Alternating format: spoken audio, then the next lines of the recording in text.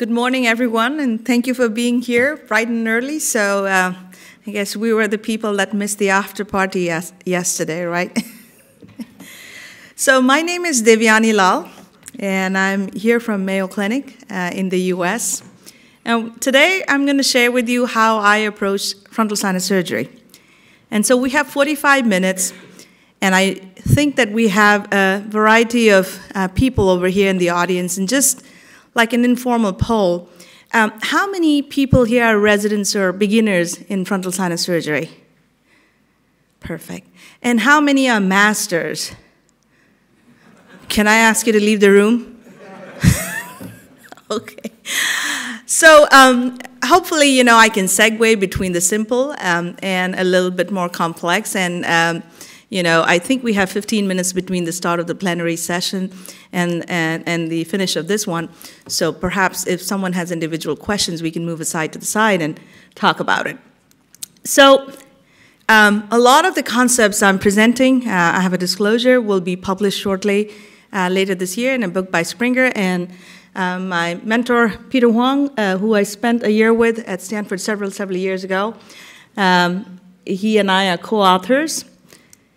So uh, we will break down the concepts into three uh, basic uh, fundamentals. One, the first thing I would do is to identify and understand the anatomy that is pertinent to that patient. There are obviously some universal concepts, uh, but it is important to understand not just the anatomy, but the pathology that uh, one has to address. And the location of the pathology and the anatomy will determine what sort of approach we're going to take to the frontal sinus, what kind of procedure uh, that person and the disease process needs. And then hopefully I'll be able to convey the importance of not just meticulous dissection, but having a systematic plan and a systematic approach uh, to attacking uh, that disease uh, process. So we're all familiar with uh, this particular picture. Um, we know what the boundaries of the frontal recess are. And so anteriorly, there are absolute boundaries. You have a projection of bone, which is the nasal beak. Posteriorly, you have the skull base, the posterior frontal table that transitions back into that anterior ethmoidal skull base. So these are absolute boundaries. Laterally, towards the other side of the picture, is the eye. And then medially, where we can't see, is the middle turbinate. Anteriorly, we know that there are cells and structures and an amount of bone called the agger nasi, which when it gets pneumatized is called the agger nasi cell. And posteriorly, you have the Buller complex. And these are sort of the boundaries of the frontal recess. And notice that I use the term frontal recess. I don't use the term frontal duct because there is actually not a duct. So the frontal recess is actually a potential space. And this potential space is an hourglass structure. The port which is above this narrowed area, which we conventionally refer to as an ostium, is called the frontal infundibulum. And the part below this ostium area, below here, is known as the frontal recess. And the entire pathway is known as the frontal sinus drainage pathway. So conventionally, the narrowest area here is about three to four millimeters, and we call it the frontal ostium. Uh, but there is not an ostium that you can find when you look in there, like when you see one in the sphenoid and the, or in the maxillary sinuses. So just be aware of that, that you're not going to find something like that. So our goal is to drain that frontal sinus through this convoluted hourglass-shaped structure into the nose. And what we understand by looking at the sagittal view is that actually it is removal of these surrounding structures uh, that is going to widen this frontal sinus recess. There's not a duct that will dilate or widen. This is a cartoon that is familiar to all. And what it is showing is the importance of understanding how the uncinate process actually affects the drainage pathway of the frontal sinus. So there are two spaces that are important.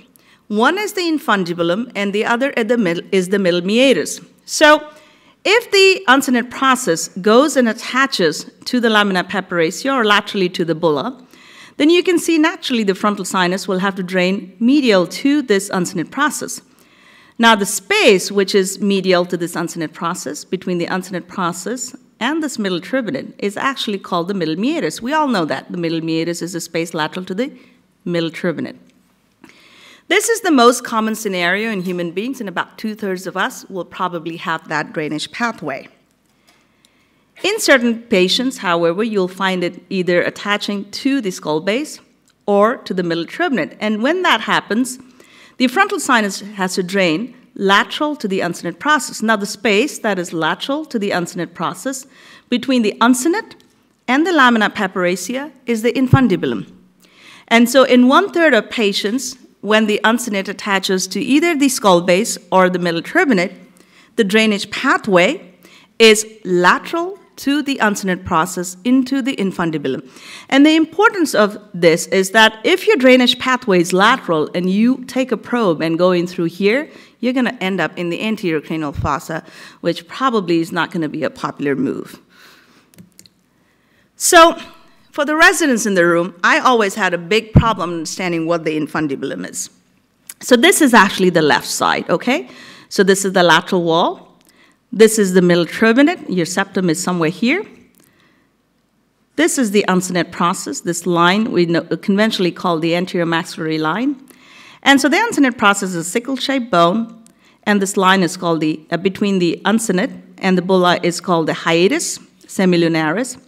If you pass a probe lateral to the uncinate process through this hiatus semilunaris, you end up in this space that runs all the way between the uncinate process and the eye and that is the infundibulum. So, very important concept is whether you're going to put a frontal probe, medial or lateral, to that uncinate process. So, as I said, to understand how you're going to approach opening up the frontal sinus, we have to identify the cells that are anterior and posterior to it, and these are all the anterosuperior ethmoidal cells. And so if we dissect all these cells completely, and even if we don't widen up this area that we named the frontal ostium, we're still going to have a pretty wide frontal sinus drainage pathway. And that procedure, where we just remove all the cells without actually formally opening up the frontal ostium, is called a Draf 1 procedure. So here we go, we'll remove the anterior cells, the posterior cells, and we'll end up with the Draf 1 procedure. So in order to remove these cells completely, we need to understand what kind of cells they are and how many cells they are. And Professor Kuhn was the first one to actually name these cells. So anteriorly, you have the agger cells, and cells on top of the agger cells are called type 1 to type 4 cells. And then posteriorly, you have the bullar complex. So you have the bulla ethmoidalis, and you may have several cells above the bulla and they are called the suprabullar and the suprabullar frontal cells if they extend into the frontal uh, sinus posterior table. It's important to recognize when these cells are present. So if you have a cell that pneumatizes into the frontal sinus, like a type 3 cell or a large type 4 cell, then this is going to take you a lot more time to dissect, and you have to plan for that and plan for instrumentation. And potentially, if you have pathology that is isolated and really high, you may even have to consent your patient for a trephination or an above and below approach. This has been recently modified, and this is what I use to teach my uh, residents now. This is a fairly recent uh, paper uh, that came from uh, PJ Wormald's group, and uh, Peter Hwang is one of the co-authors. And what this did is simplify the nomenclature. So you have an agger nasi cell anteriorly, and cells on top of the agger nasi cell are called supra agger cells. And if these supra agger cells pneumatize above the frontal ostium into the frontal sinus itself, then they name it the supra agger frontal cells. So easy to understand. And likewise with the bulla, if you have a cell above it, suprabullar cell, if that suprabullar cell pneumatizes into the frontal sinus itself, it's a suprabullar frontal cell. And then you have the interseptal cell, which is now named the frontal septal cell, and it's important to recognize how that might affect the drainage pathway. The other thing I always look for is something called a supraorbital ethmoidal cell that is often an overlooked cell, and it's important to recognize what this cell is. So if you look at a coronal view and you say, hey, there's a partition in the frontal sinus, then start thinking of a supraorbital ethmoidal cell. So what is that? So see here, there is the frontal sinus that pneumatizes above the orbit. We all are familiar with that anatomy. Sometimes there's a cell behind the frontal sinus that also does the same, and they are separated by a partition. And this is best viewed in a parasagittal section. So you can see there's the frontal sinus, and behind it is another cell pneumatizing into the orbital plate, and that is the supraorbital frontal cell. Why is it important? Well, sometimes you can have disease localized in this supraorbital cell, and this patient had actually had several endoscopic procedures and an open procedure to address this pathology, which was actually far posterior to the frontal sinus, and the previous surgeon could not actually address it. So you might have disease that is isolated in the supraorbital cell. So how does it appear? Now you see this partition. This is an axial section. So you can see that on this cartoon, this is the frontal sinus and this is the supraorbital ethmoidal cell. And this cell is actually more posterior and more lateral to the true frontal sinus. And this is the endoscopic correlate of how these open. This is the left side, and this is using a 70 degree endoscope to look up there. So this is the septum, this is a frontal sinus opening, partition, and then you have a supraorbital cell. Be behind the first supraorbital ethmoidal cell is a structure that you don't want to hit, and that is the anterior ethmoidal artery. So some older publications call the anterior ethmoidal artery to lie between the frontal sinus and the supraorbital cell. And actually is behind the first supraorbital cell. You can have multiple supraorbital cells going behind from the posterior ethmoidal complex too. Uh, but the, this anterior ethmoidal artery is usually above the bulla and behind the first supraorbital cell and not in this partition here. So the importance of uh, finding this supraorbital ethmoidal cell is that these cells are usually present when the ethmoid sinus is very hyperpneumatized. And in this situation, you'll often encounter what we call a pedicle ethmoidal artery, and this is something that you don't want to hit. So again, you see these partitions, and this patient has actually three or four um, supraorbital ethmoidal cells. You can see the frontal, and you see the supraorbital ethmoid, and behind the first supraorbital ethmoid pedicle on a, on a mesentery is your anterior ethmoidal artery. Notice that the anterior ethmoidal artery is not at the junction of the frontal and the ethmoid, but it's a little bit behind. So why is this important? So look at this patient with massive polyposis, and you see um, that you have a pedicle ethmoidal artery. You also have disease in that supraorbital ethmoidal cell. So if you think that you have a pedicle ethmoidal artery, um, you know, you should always have a bipolar that is angled and uh, available in the room, but certainly in this situation, you might want to just make sure with your staff in the OR that you do have it handy in case you inadvertently injure it. And you want to use a bipolar artery over here, not a monopolar, because you can actually crack the skull base with the heat and cause a CSF leak. So why do we need to know about all these cells? Well, A, um, you know, you have to dissect those to get into the frontal sinus. But B, if you don't address them completely, then these are often the, uh, the cause of failed frontal sinus surgery. So let's look at these sagittal sections. Here we have frontal sinus disease and lots of ethmoidal partitions, right? So not completely dissected. We didn't even perform a Draf 1 or a Draf 2A procedure over here. Over here, again, you see the same situation. Here you have an incomplete dissection of potentially an agger nasi cell, and it's formed a mucocele that has now plugged up this cell. Uh, over here, you have that um, frontal cell that is now plugging up this area of the frontal sinus, and everything else appears relatively healthy.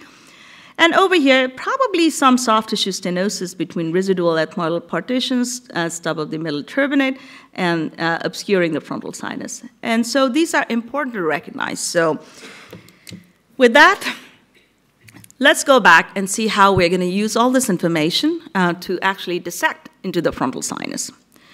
So let's look at this case where the frontal, uh, where the uncinate process goes and attaches um, medially towards the skull base or to the middle turbinate, right over here. And so we know from what we talked about that the frontal sinus will drain lateral to this uncinate process in the space that we just called the infundibulum. And so our boundaries laterally are the lamina papyracea. We'll encounter all those anterior superior ethmoidal cells we talked about, Immediately, we have to be careful because we have the cribriform, and it is this thinnest part of the cribriform called the lateral lamella of the cribriform, which is about a sixth of a millimeter thin in certain patients that we have to deal with as we go and dissect into this frontal sinus. So this is the cartoon representation. So we'll say this is going towards the middle turbinate, and we're going to have a drainage pathway into the infundibulum. So the next thing I'll do is to count the cells that I have to encounter. So here, let's say we have an agger nasi cell and we have a Buller complex, and I'll go count the cells that are anterior, and then we'll count the cells posterior to it. And then we're going to use the agger nasi cell, and this was described beautifully by P.J. Wormald, and that's how I approach my frontal sinuses and locate the uncinate process. So let's put that cartoon together again. So we have the uncinate process that is going towards the middle turbinate.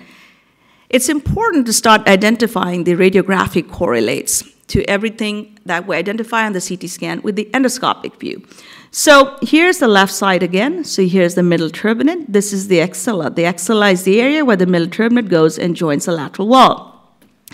Typically, if you open up the axilla, uh, you're going to open up into the anterior portion of the agger nasi cell. The advantage of opening this early is that you have to use less angle scopes. And also, for me personally, I find it a, much easier way to tackle the frontal sinus. And sometimes you could do a lot of the dissection using 0 and 30 degree endoscopes rather than using a 70 working under this axilla. So I'm going to look for the attachment of the uncinate process. So here's the uncinate, uh, here's the axilla. And here's the uncinate process. And if you conduct your dissection slowly and meticulously with sharp instruments, you can actually identify all these lamellae in there. So I've opened up the agger nasi, and then uh, I will usually use a kerrison punch to open this. And then here's the uncinate process. Now, if I go in through here, then I'm going to end up here. All right? So I'll end up in the anterior cranial fossa. Where I want to end up is actually lateral to the uncinate process. And you want to end up behind the agger nasi cell because we know that the frontal recess is behind the agger nasi cell and, and, and it's between the agger nasi and the bulla, which is back here. So if I put a probe up here, I am going to go into that frontal sinus. So let's look at combining all those endoscopic correlates. So axilla, agger nasi cell, open the agger nasi cell with a kerrison and then follow up with a microdebrider. This is the cap of the agger nasi that Professor Stammberger and Kuhn have talked about uncapping with a curette. You can pass that probe we just talked about here into the infundibulum, go all the way dilating it, never force an instrument through, otherwise you'll end up in the anterior cranial fossa or someplace bad, and then you'll take a curette, uncap this, and as you deliver this cap out, you have now finished up with a Draf 2A procedure, right? Um, and if you widen that frontal sinus ostium area, that narrow area, you will convert um, the Draf to, um, sorry, you end up with a Draf 1 procedure, and when you widen that formally, you end up with a Draf 2A procedure. So this is a 70 degree view looking into the frontal sinus, and here is the frontal sinus look, uh, as you look up. This is a very important landmark. This partition that you see in the roof of the frontal sinus, you will never see that in a type 4 cell or a type 3 cell. If you see that, and if you see transillumination right up in the top of the forehead, then you know you're in the true frontal sinus. There are partitions behind that one must clean up, especially in patients with polyps, and you must have a smooth transition here uh, uh, to um, have a great uh, frontal sinusotomy. So that's simple anatomy. What happens when you have lots of cells? How are you going to address that? So this is a great publication that I would highly encourage you to download. Uh, this is called the Agger-Bullar classification. And this comes from Piero Nicolai's group. And what they talk about is, you know, oftentimes when I look into these CT scans, I don't know whether these are cells or these are spaces. And what these authors advocate for is just counting the number of cells and spaces. So you count the number of uh, cells or spaces anteriorly, and they call it A1, A2, or A3 if you have one, two, or three cells. Count the cells or spaces posteriorly, and you say B1, B2, or B3, depending on how many cells you have anteriorly or posteriorly. And then you have a plan of attack. You locate the uncinate attachment, so let's say that in this case it goes laterally uh, towards the lamina papyracea. Most people think that to be a good frontal sinus, well, I wouldn't say most people, many people think that to be a good frontal sinus surgeon, you must do a modified Lothrop or, or Draf 2B in most of your patients. And actually, that's not quite true. Most patients can be tackled very effectively with a Draf 2A procedure, uh, which is basically just removing all the cells in the frontal sinus drainage pathway. And if you have to widen that ostium a little bit more, um, you know, you do that. But the majority of cases that I tackle, even in my tertiary care revision practice, I end up mostly with standard endoscopic frontal techniques, which are Draf 1 or Draf 2A procedures. It's rare for me to do nothing because these patients have been through uh, the grinder in some cases, and I will do a fair number of 2B or, uh, and Draf 3s, but they are not the majority of my procedures. And then in certain procedures, I will um, uh, use some open techniques as well. So going back to um, the dissection we talked about, here we have a preoperative CT review. I'm going to count the number of cells that are anterior. So I think there are three cells of spaces. Then I'll look at the posterior aspect, and in this situation, I think there are probably three cells or spaces. And uh, the Uncinate process goes and attaches laterally towards the bulla. So my drainage pathway is going to be more medial. So I usually do the um, frontal sinus dissection um, after I finish sphenoethmoidectomy. You saw me use a pledget, and that is soaked in epinephrine 1 in 1,000. And here I've left behind, as part of my ethmoidectomy, the top part of the uncinate process. And this will help me identify where the frontal recess is, which, as I know, um, is going to be between the agger nasi and the bulla. So here I took a Kerrison, removed that front part, um, the top part of the infundibulum has been opened up, and now I've opened up the front part of the agger nasi cell. So once I do that, I can see, and this is the medial part, you have to be very careful using the microdebrider close to the orbit, always face it upward, and if you are not familiar with it, use handheld instruments.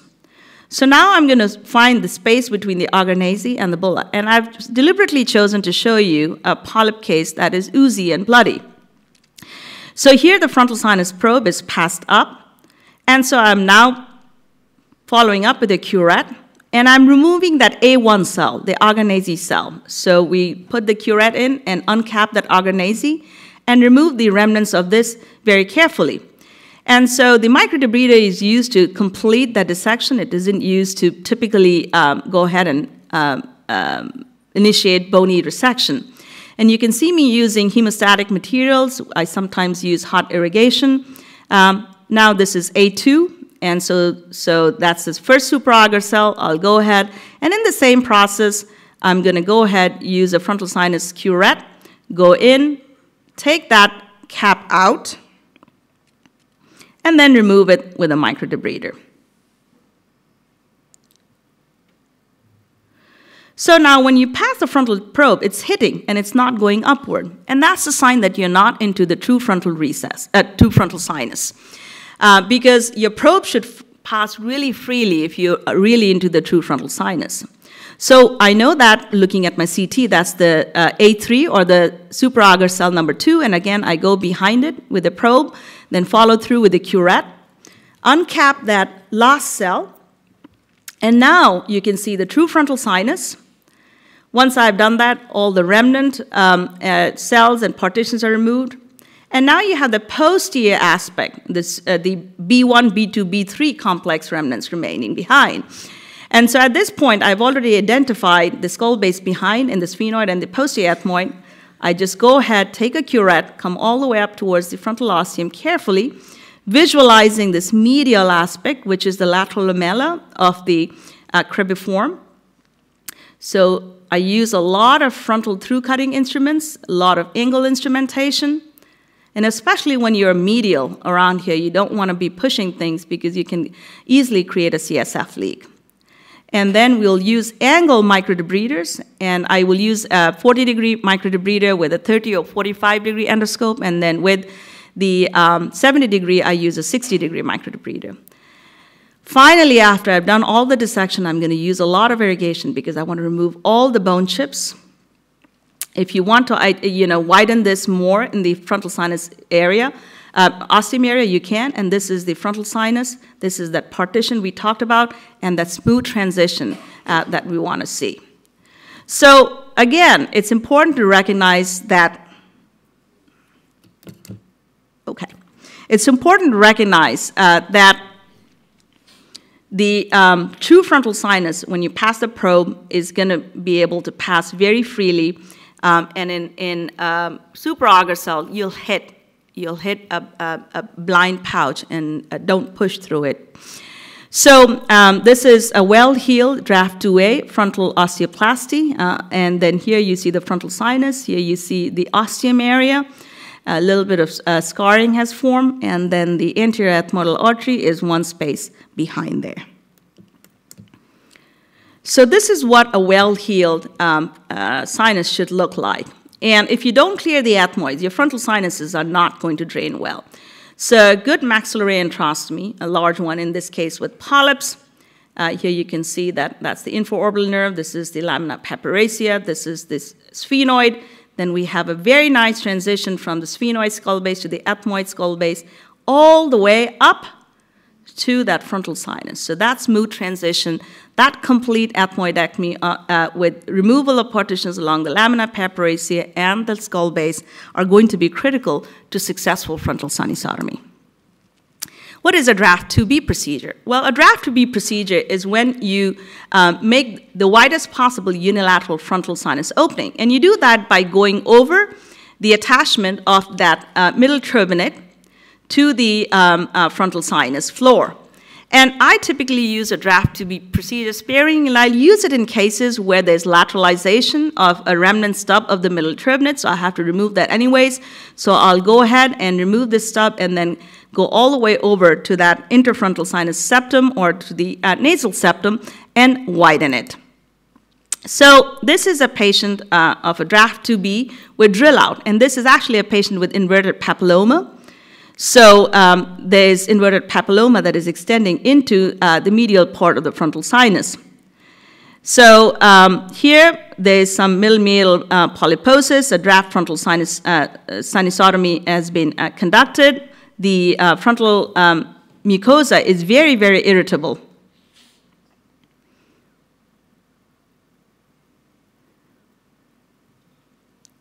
And as we um, look in there, you can see that uh, this mucosa has been eroded. That's a little bit of the uh, papilloma, which is now in the medial aspect that's being removed. Uh, the polypoid tissue is being removed. So in this situation, uh, because there's so much erosion on this posterior part of the frontal sinus, I'm really concerned that this is going to stenose down. And we know that the frontal ostium will nose down by about 30 to 50%, and more so in highly inflamed uh, uh, cases. So then I make the decision to go ahead and create a very wide uh, uh frontal sinusotomy. And because of the inflammation, I want to make the widest possible uh, drill out uh, that is um, available to me. So I'll take a drill, I'll go to the nasal beak area, I'll drill that out, and then I have taken down that attachment of that middle turbinate to the frontal sinus floor, and I'm going to go ahead and go all the way over medially towards the nasal septum or the interfrontal sinus septum. And then you can put in a Silastic stent, uh, and that is helpful to keep that open. We'll talk a little bit more about stents later on. What about endoscopic modified Lothrop approaches? In my practice, I use this for what I consider terminally diseased sinuses or in nasal polyposis patients that have demonstrated a failure to be controlled. The advantages in those situations are that it's easier to deliver drugs and clean uh, the patient's cavity out within the, uh, within, in, within the office itself.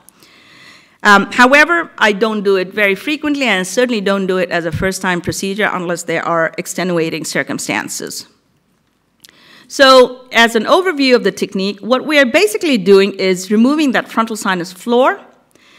We are taking this partition between the two frontal sinuses and the top part of the uh, septum, the anterosuperior septum, and that leads to a really wide cavity or the widest possible cavity between the lamina papyraceas on both sides and anteriorly between the nasal beak area and posteriorly towards the posterior um, uh, frontal table and the ethmoidal skull base.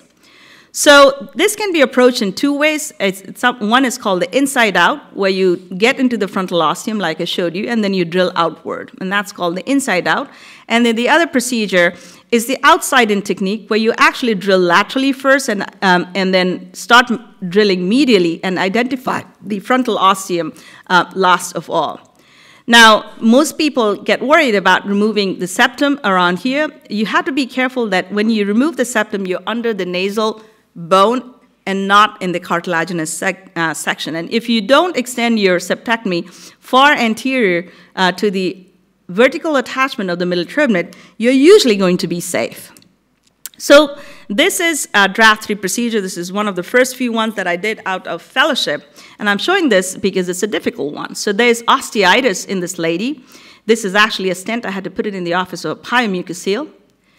So here, what we are doing is resecting that attachment of the middle turbinate to the floor, just like we do in a Draf 2B procedure. So this is the left side. You don't want to go too far posteriorly because that's where the middle turbinate attaches to the skull base. So on the left side, we had an, um, a relatively healthy frontal sinus, so I'm going to go ahead and identify the frontal ostium.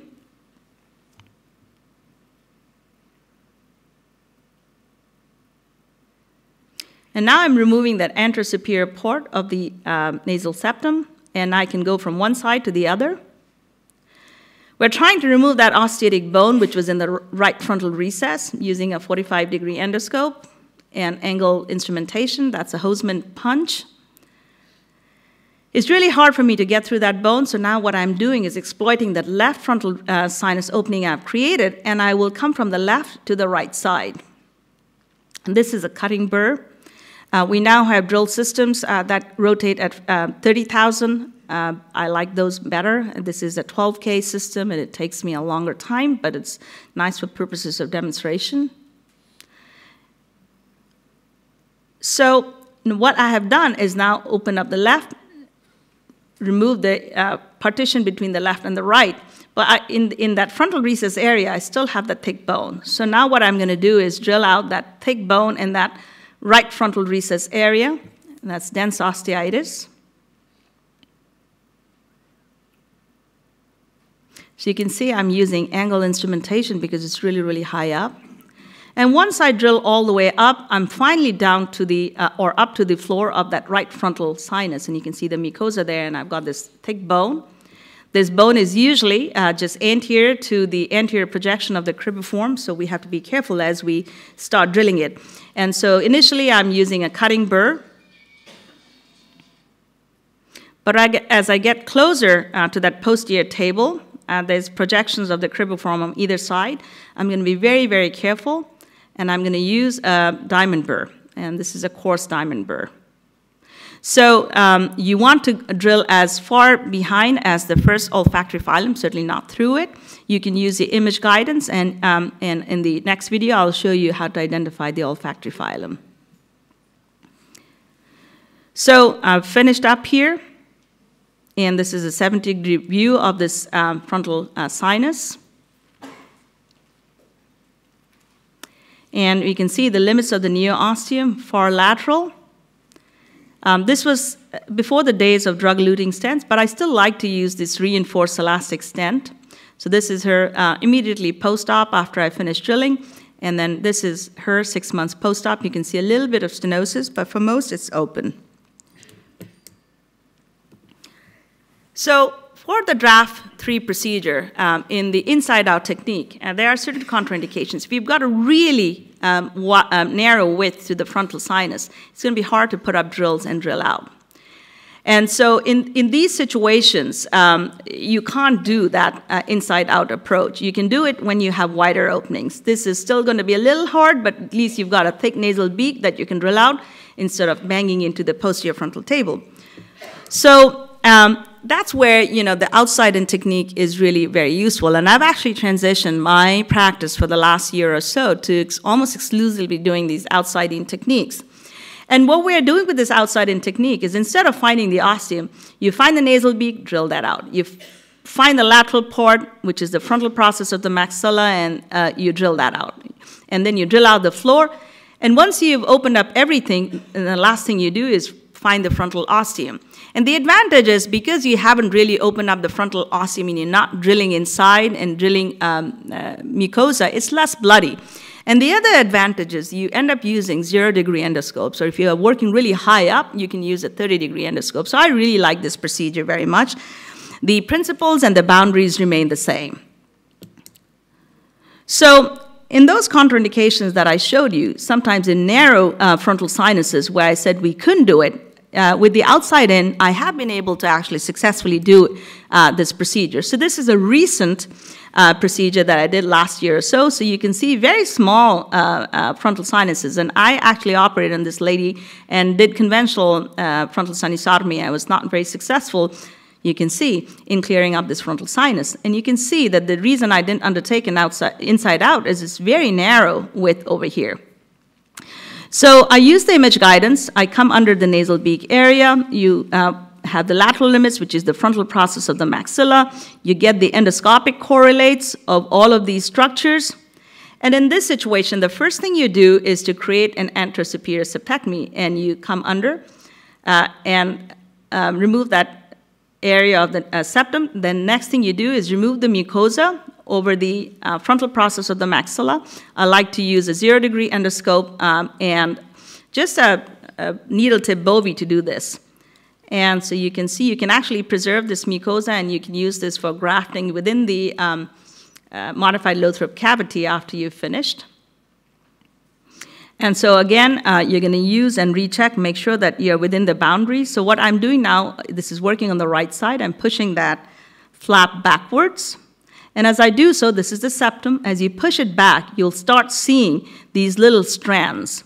And the first strand that you see is actually a vessel, and the second strand that you, as you pull in is going to be the first olfactory filum. So um, you can remove this mucosa or you can harvest it, uh, depending on what your needs are. And then you go ahead, do the same thing on the other side. This is the left side, and I'm gonna, uh, I've removed the mucosa and I'm now drilling out. You then drill out the bone of the um, septum, and then this is a very narrow cavity. Um, and this was the first case that I actually used this um, outside in technique. So I've drilled everything. I'm not looking for my frontal ostium. I removed the septum, and now I've found the floor of the frontal sinus. So if you follow the septum up, you'll find the floor of the frontal sinus. I typically don't want to open this mucosa here. I'll just continue to thin out bone. Here you can see that movement of the medial canthal skin.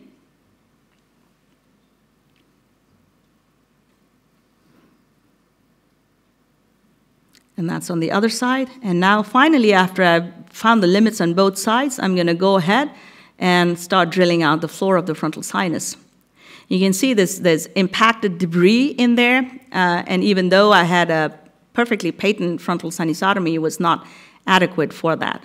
So I still haven't found my, um, my opening that I had created previously, and I'm not even worrying about it. All I'm doing is creating a nicely marsupialized shallow cavity by drilling out bone as far lateral as I can go.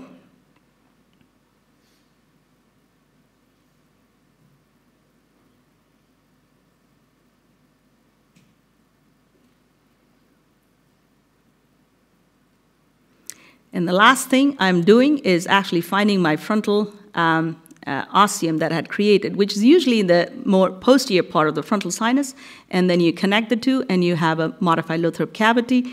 Here's the um, graft that I harvested, and, and here you can see that I'm actually using a drug-eluting stent, it, uh, especially in narrow cavities. It conforms to that area very nicely and heals up uh, pretty well as well. So. so let's do a case now. Uh, this is a case of a gentleman who underwent an obliteration procedure um, several years ago uh, for mucoceles and then presented again with multiple mucoceles. You can see that one, two, three, extensive erosion of the posterior frontal table getting into the orbit. So what do you do at this point of time? I mean, in the old days, people would said, do obliteration procedure again. I think we've kind of moved away from it.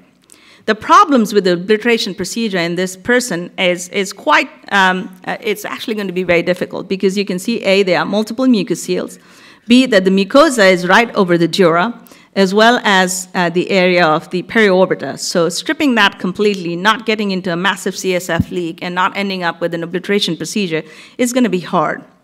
So here's how uh, we attacked it. So what I did was a standard endoscopic approach, open up the frontal sinus, then went through a brow trephination, and you go through the brow and attack the lateral mucoceles, which are protruding into the eye. So this is actually looking through the trephination with a pediatric endoscope, and you can use your standard uh, instrumentation to get in and open up all the partitions in there. And so this is the above and below approach. So here you see this is a 70 degree view looking into the right frontal, left frontal, and um, this is from his previous procedure. They had put in some sort of plate in the back. You can see those plates. And we got a really good uh, um, marsupialization of all the mucoceles, as you can see from this post-operative MRI. What you see here is actually CSF on this uh, T1 weighted image. Uh, the brain had been pushed back and compressed by this mucocele, so now it's just um, filled in with uh, fluid, and you can see that as well. So you can do a lot of work with trephination, especially if the mucoceles are far lateral or superior. And uh, the frontal trephination is a technique that is often overlooked in frontal sinusotomy, so I wanted to throw in a, small plug in there. I get a lot of questions when I do my courses about what about stents, right? So I showed you one situation where I used a stent where the mucosa was friable, inflamed, I had drilled out bone. And you can see that the opening there is actually quite big. I'm not using that to dilate the opening. I'm using that Silastic to actually hydrate that area.